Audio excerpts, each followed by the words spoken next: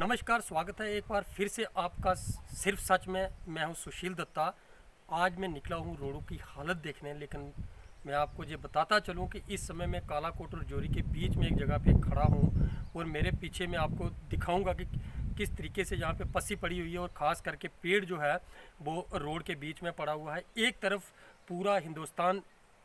के साथ साथ पूरी दुनिया में कहूँगा कि कोरोना वायरस से जूझ रही है, लेकिन दूसरी तरफ़ बाढ़बंदी के कारण कहीं ना कहीं पसियाँ पड़ी हुई हैं और लोगों का आना जाना हुआ बिल्कुल ठप पड़ा हुआ है।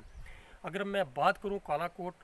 और रजौरी की रोड की तो मैंने चार पाँच जगहों पे एक ऐसी पसियाँ देखी हैं कि वहाँ पे पड़ी हुई हैं और बिल्कुल आना जाना जो है वो ठप पड़ा हुआ है।